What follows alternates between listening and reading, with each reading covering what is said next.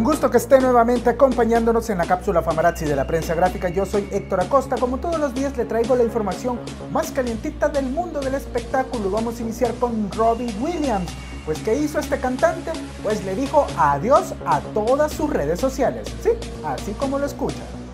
El músico británico Robbie Williams decidió dejar que sus redes sociales las administren personas de su staff y comentó al diario The Sun. He tenido que largarme de las redes sociales. Ya no leo lo que se dice de mí en Twitter y en otros sitios.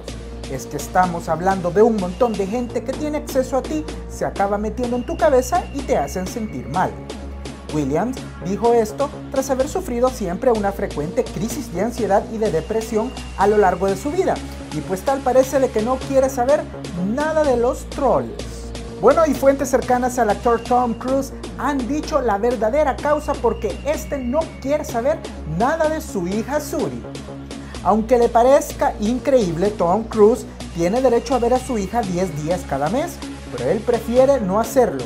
Y la razón es porque la niña no practica la religión de la cienciología. Precisamente se ha asegurado que ese fue el motivo de la separación entre la pareja de actores, Recordemos de que él estuvo casado con Katie Holmes. Tom quería reclutar a Suri en la doctrina de la cienciología desde pequeña y Katie no lo permitió. Se sabe que Cruz es uno de los miembros más fieles y acérrimos de la cienciología, lo que paradójicamente lo ha aislado de quien debería estar más cerca, su única hija biológica, Suri. Y bueno, tras el escándalo del supuesto acoso que hizo a un joven británico, Alex Sintek ha hablado sobre lo que pasó. El músico mexicano dijo en una entrevista radiofónica compartida por este en su cuenta de Instagram que el menor británico de 17 años lanzó acusaciones falsas.